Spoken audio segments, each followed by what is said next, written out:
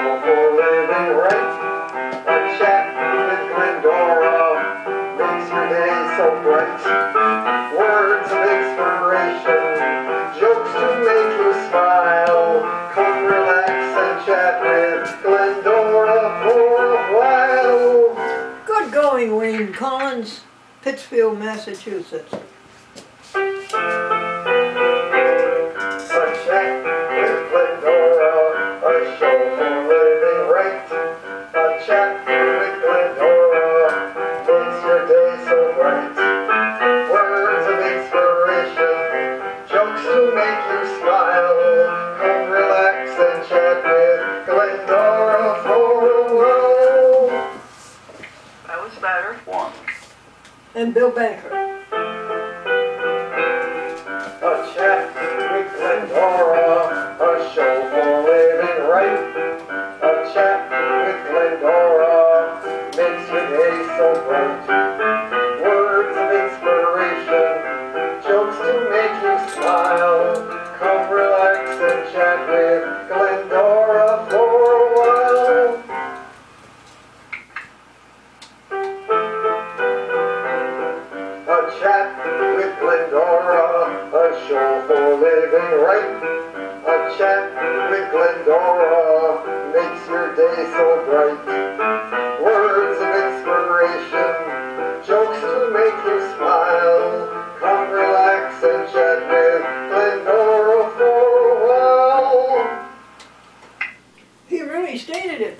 That's what the show's all about.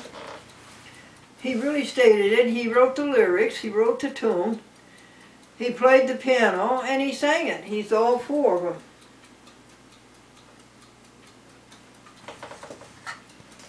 Now we have to be out of here in 28 minutes and 30 seconds.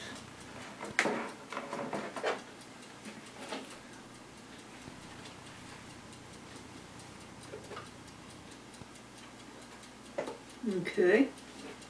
5, 10, 15, 20, 25, 28. Let's come out at 7. Rejoice evermore. Pray without ceasing. In everything give thanks, for this is the will of God in Jesus Christ concerning you. Put that in a chat with Glendora language. A chat with Glendora language says that God, Christ Jesus, and helping others is the same. God, your religion, and helping others are synonymous and interchangeable. Help others evermore. Help others without ceasing. In everything, help others. For this is the will of God. Help others. Concerning you. That's it. First, Thess- First Thessalonians, let's try it again. First Thessalonians chapter 5, verses 6, 7, and 8. Help others evermore. Help others without ceasing. In everything, help others. For this is the will of God. In helping others concerning you. Now, our song says the same thing. I love to tell the story of unseen things above, helping others. Of Jesus and His glory, of Jesus and His love, of helping others and its love. I love to tell the story because I know it's true. Helping others, it's true. It satisfies my longing as nothing else can do. I love to tell the story. 'Twill be my theme in glory. The old, old, old story of Jesus and his love. The old, old, old story of helping others in its love. It will satisfy your longing as nothing else will do. I love to tell the story of unseen things above, of helping others, of helping others and its glory, of helping others and its love. I love to tell the story because I know that helping others is true. It satisfies my longing. Helping others satisfies my longing as nothing else will do. Nothing could be truer. I love to tell the story, twill be my theme and glory. Helping others is our theme and glory. The old, old story of helping others and its love. Yuki! Let's see if we can find some jokes for you. A man came home from work and he drove into his driveway. And his little five-year-old daughter was standing there. He gets out of the car and he says, what's the matter? She looks distressed. What's the matter, honey? She said, I've been having nothing but problems all day long with your wife. A couple had identical twin girls, identical twin girls, and they named them Kate and Duplicate. Okay.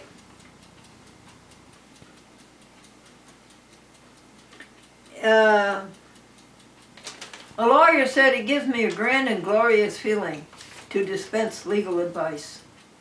His client says, that's right, you give him a grand and he feels glorious.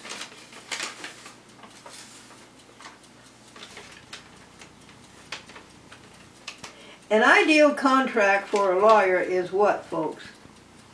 Words too big to pronounce and printing too small to read.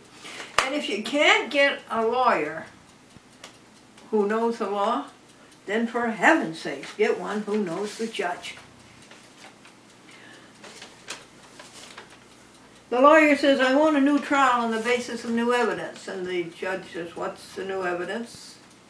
And the lawyer says, I just found out my client is another $10,000. The lawyer says to the new client, I will take your case on a retainer. That will cost you $3,000 and you're entitled to two questions. Client, $3,000, two questions. Isn't that expensive? Perhaps, the lawyer said, what's your second question? Humpty Dumpty sat on a wall. Humpty Dumpty had a great fall. Said the lawyer, the bricks in the wall are loose. We have a great case, we will sue Mother Goose.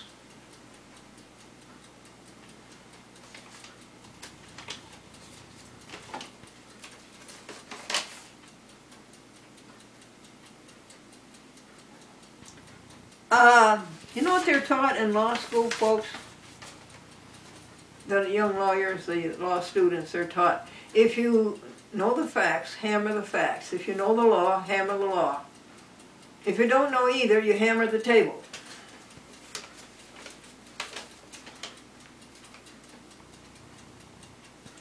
And how can a lawyer write a paper of 5,000 words and call it a brief?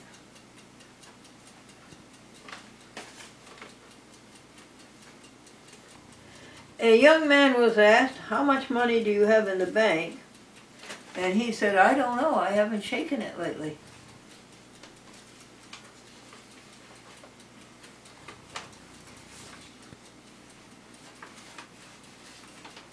Hold on.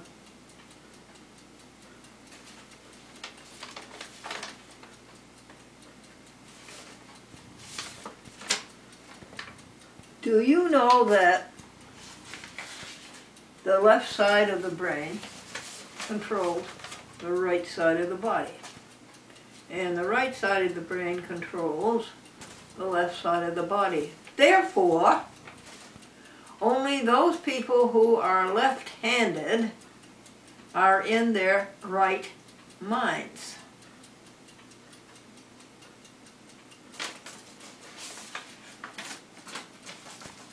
How are we doing, Clark?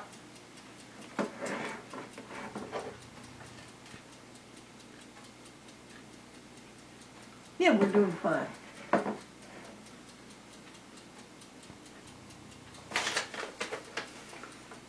I want to play a video for you. Okay?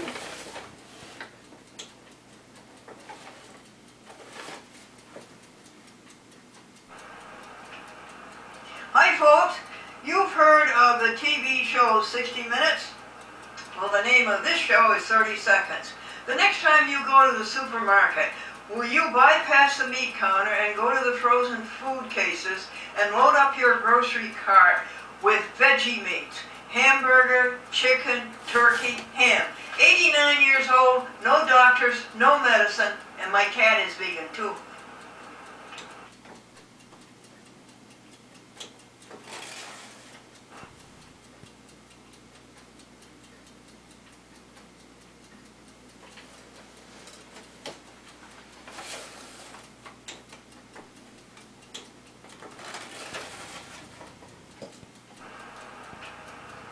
Hi folks, you've heard of the TV show 60 Minutes?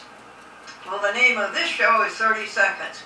The next time you go to the supermarket, will you bypass the meat counter and go to the frozen food cases and load up your grocery cart with veggie meats? Hamburger, chicken, turkey, ham. 89 years old, no doctors, no medicine, and my cat is vegan too.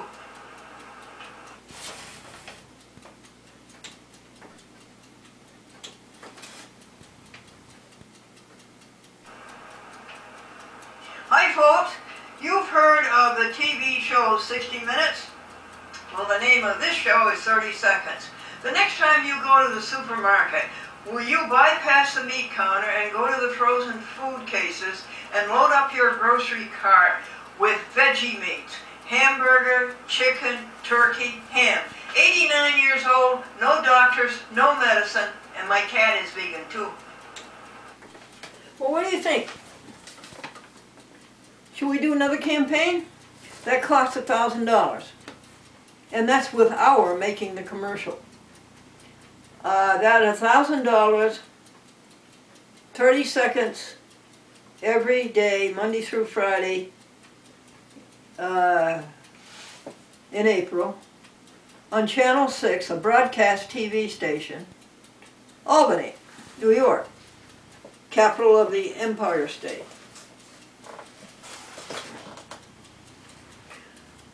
Should we save up another thousand dollars and do that? I think it would be almost like that, but a little bit different. Here's what I have in mind. Uh, you're going to wear the, I'll wear the snowman suit instead of the polar bear suit. Hi folks, computers are in the Bible. Eve said to Adam, do you want an apple too? The next time you go to the supermarket, will you please bypass the meat counter and go to the frozen food cases and load up your grocery cart with veggie meats? Hamburger, chicken, turkey, ham. 90 years old. No doctors, no medicine. And my cat is vegan too. What do you think? Do you think it helps the animals any? That's our prime objective. Stop this slaughtering of animals. Stop this bringing animals into the world of cruelty and filth and urine and feces and the stench when you go by a farm. Those poor babies have to live in that for eight or ten years before they're sent into ugly, ugly circumstances of transportation, painful, to a miserable death in a slaughterhouse. We have to stop it. Do you think these spots will help people become vegan? You know, there's over 90 veggie meat entrees. Well, tell me, will you? You can find out something that I probably can't find out just by listening. Going into your sanctuary and listening to your soul. And it's imperative that you go vegan. Have nothing to do with animal products. Honey, fur, meat, eggs, ugly, ugly things to eat.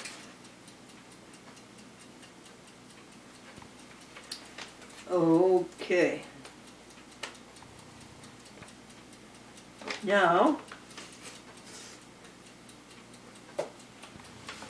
Earth Day was April 17th.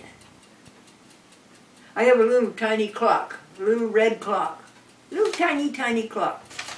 And at 7 o'clock it sounds the alarm. And no matter what, I stop and I think of the spin of the earth, another spin of the earth, another 24 hours. The electricity, the magnetism, the electromagnetic spectrum, the gravity, the air, three minutes without air and you're gone.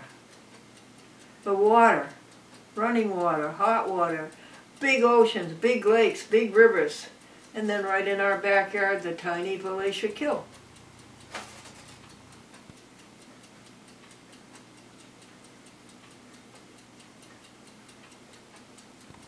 The soil, the magic of the soil, the beauty, the gold in it, the, the vegetables and the flowers and the fruit that come out of it.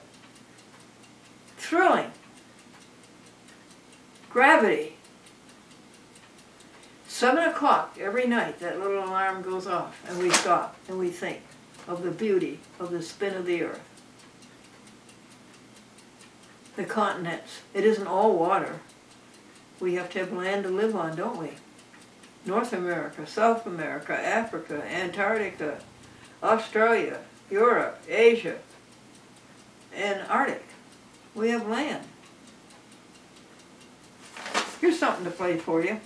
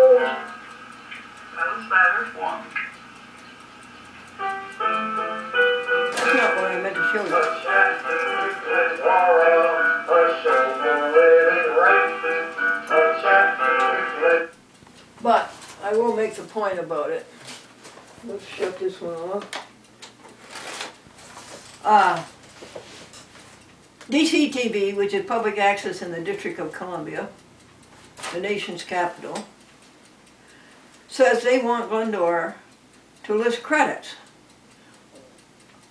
The people who put the show together. But there aren't any people. Glendora does the whole thing herself. You can't say Glendora, director, producer, lighting, uh, graphics. No. It's just one person who does it, and it's only one person that is responsible for the mess that this show is. And then on second thought, I begin to think, everybody's responsible for it. Everybody gets credit. Everything and everybody in the whole universe gets credit for it. Without everybody and everything, it would not be possible. So, to the glory of God, God gets the credit. God helping others. Christ in your religion, whatever it is. And so, I made a new show and I think overcame many of their other criticisms. And I was going to show you the uh, slate that I put at the end with a great big Amen. To the glory of God, God gets the credit. And we send it down to them. They have, in their brilliant way, processed it for a file transfer protocol. So technically, it's all ready to go on the tube. And now it's in the hands of programming again. And we'll see what they'll do with that one. I would think, you know, they're so astute. Acumen, keenness. Yet they're so dumb, obtuse about the law. Public access is a law. Federal, state, and municipal. And 531E, the law, by the way, is Title 47 the United States Code, Section 521 et sequitur. And 531E says those people who cablecast the programs of public access TV stations shall not ever exercise editorial control. You cannot tell a public access producer what he can say or what he or she cannot say on his or her program. Forbidden editorial control. And they don't seem to see that. I've already sued them once. They could be sued again. Whether they win the case or not and get it dismissed, it's going to cost them like $17,000 to defend it. And that applies to you too, Philly. Philly Cam and Debbie Rudman. You cannot exercise forbidden editorial control over public access TV. We are the last of the people, the only people who tell it as it is. We are not responsible to any corporations. Our work is all volunteer. I volunteer 14 days, seven days a week on this program. And I don't get paid. Well, let's see what they do. It's your turn. The ball is in your court, Debbie Rudman. My sponsor is Elite. He's a PhD from Harvard. You don't go higher than that.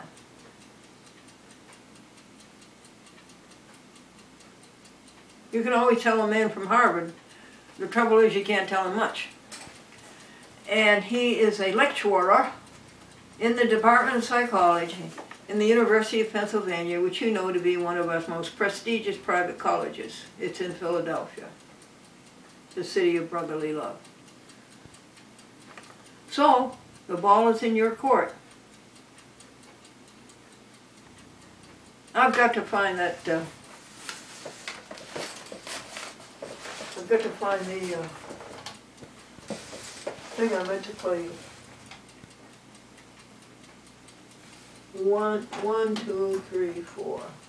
One, two, three, four. Glendora makes it hateful Word dictionary. That is not it.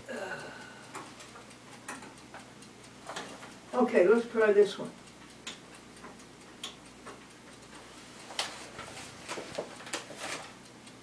Yes, this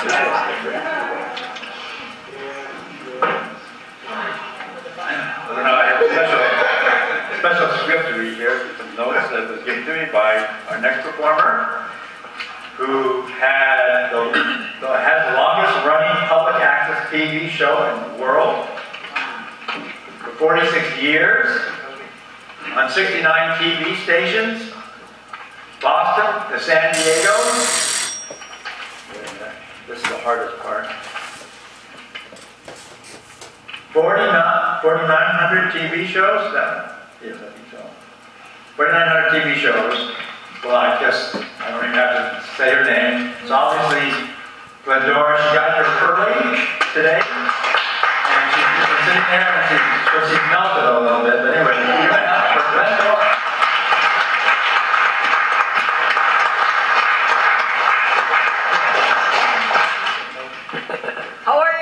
Good, there we go. Can you hear?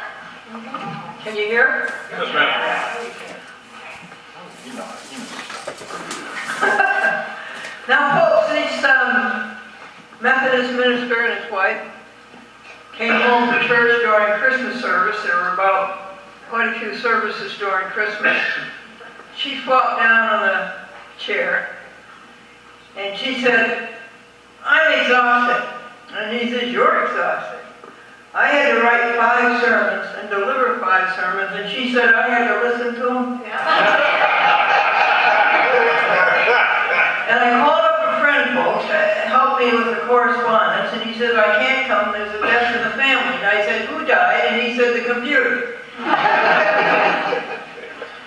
the teacher said, draw a picture of the nativity scene. And the little girl brought up her picture, and the teacher said, oh, this is great. Oh, there's Jesus, there's Joseph, there's Mary. What's this little stand with the box in the corner? That's their computer. the minister gave the uh, congregation a, uh, an assignment. He says, when you come to church next Sunday during the week, I want you all to read chapter 7 of the book of Mark.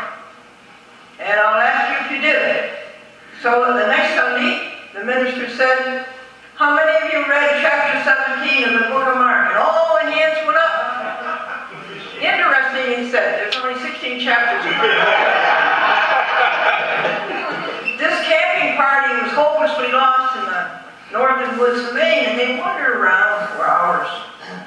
Finally, one of them got up enough courage to say, You told us you were the best guide in the state of Maine. And he said, Am. I am, but right now I think we're in Canada.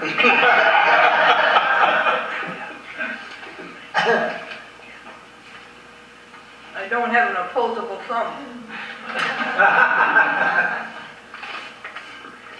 Uh, the little boy was late for school, folks, and he was running, the little boy was late for school, and he was running as fast as he could, and he goes under, takes a shortcut, he goes under the barbed wire fence, the barbed wire fence caught his pants, made a tear, he runs into the classroom, and the teacher says, I see you're a little behind this morning, he said, it was a barbed wire fence. Why did the bunny rabbit ask to be changed into a goon within the next 24 hours? Hair today and goon tomorrow? The little old man and the little old lady, folks, was called, were called into summons court because she stole a can of peaches. And the judge says, well, how many peaches in the can? She said, three. He said, you are hereby summoned to three days in jail, one day for each peach. And the little old man says, well, can I say something? The judge said, be brave. The little old man said, she also stole a can of peas.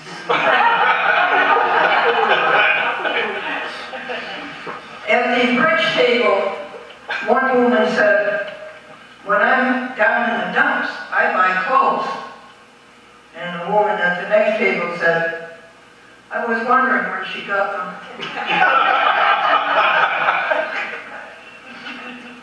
uh, somebody asked the dog, are you bilingual? And the dog said, woof, meow.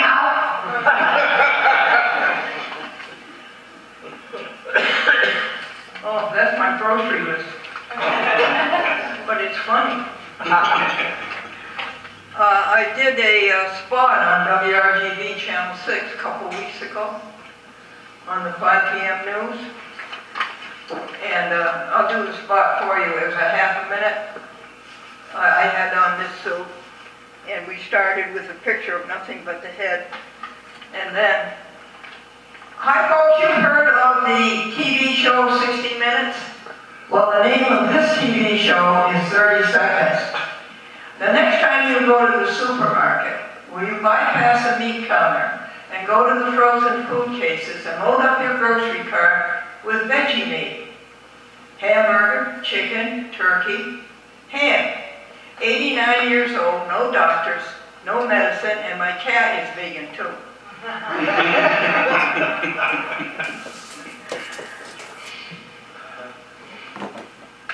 Uh, Another thing I'd like, another thing I'd like to mention to you folks. Do you agree that, uh, when all is said and done, the only thing that really mattered is how you treated others? Do you agree? Um, a picketer was carrying a sign that said, "Time heals all wounds," and the picketer behind him said, a sign that said, "Time and a half heals them faster." An earthquake was reported to be on its way in California. So this couple sent their young son deep into the interior where he would be safe with an uncle. In two days, they got an email that said, returning the boy, send the earthquake. now, this man was a fan of the great composer, Ludwig van Beethoven. And he went to the composer's grave, and he's standing there, folks, and here are all these Beethoven symphonies coming out of the ground. But they are being played in reverse. They're being played backwards.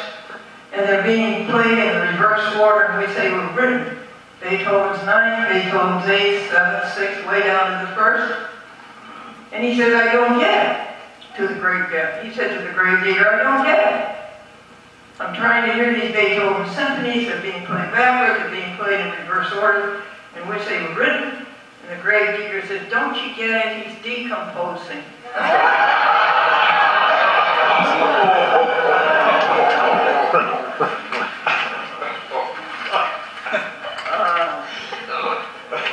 little boy and his sister are in the living room watching a video on the birth of Christ.